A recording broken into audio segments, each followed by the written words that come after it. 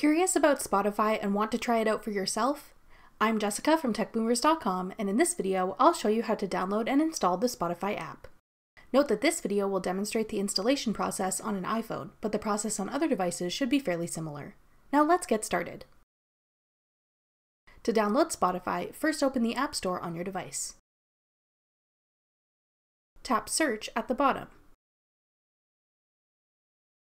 Tap the search bar at the top and type in Spotify. Tap the Spotify app when it appears in the search results.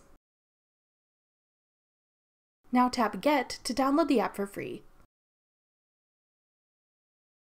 If prompted, enter your password or use Touch ID or Face ID to confirm that you want to download the app. Spotify will then be installed on your device. This process may take a few minutes.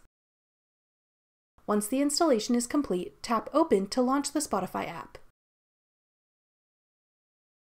That's all it takes to download and install Spotify.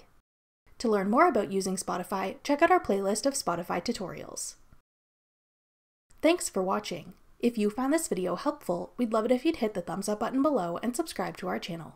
We put out great new tech tutorials like this one every week.